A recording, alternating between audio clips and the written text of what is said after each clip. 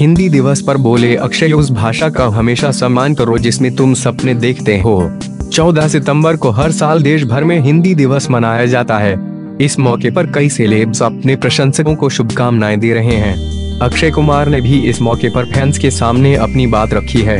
अक्षय ने हिंदी में ट्वीट करते हुए बताया कि सभी को उस भाषा का सम्मान ज़रूर करना चाहिए जिसमें वे सोचते हैं और सपने देखते हैं। अक्षय ने ट्वीट करते हुए लिखा, मेरे माता पिता ने मुझे हमेशा सिखाया कि उस भाषा का सदा सम्मान करो जिसमें तुम सोचते हो और सपने देखते हो।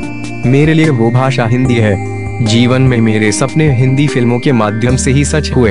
हिंदी में अपने विचारों को अभिव्यक्त कर पाने पर मुझे गर्व है। हिंदी दिवस की शुभकामनाएँ।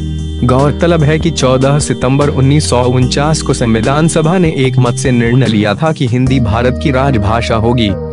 पहली बार हिंदी दिवस 14 सितंबर उन्नीस सौ तिरपन को मनाया गया। प्रोफेशनल फ्रंट पर बिज़ी हैं अक्षय। वर्क फ्रंट की बात करें तो अक्षय फ़िलहाल अपनी फ़िल्म बेल बॉटम की शूटिंग में बिज़ी हैं। इसके अलावा उनकी फ़िल्म लक्ष्मी बॉम्ब जल्द टी प्लेटफॉर्म डिजनी हॉट स्टार पर रिलीज़ होने जा रही है।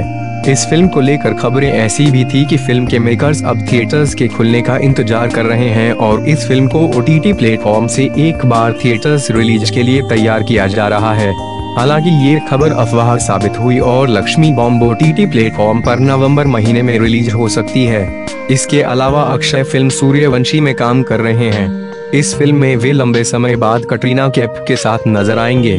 इस फ़िल्म को रोहित शेट्टी डायरेक्ट कर रहे हैं। रोहित शेट्टी पहली बार अक्षय और कटरीना के साथ काम कर रहे हैं।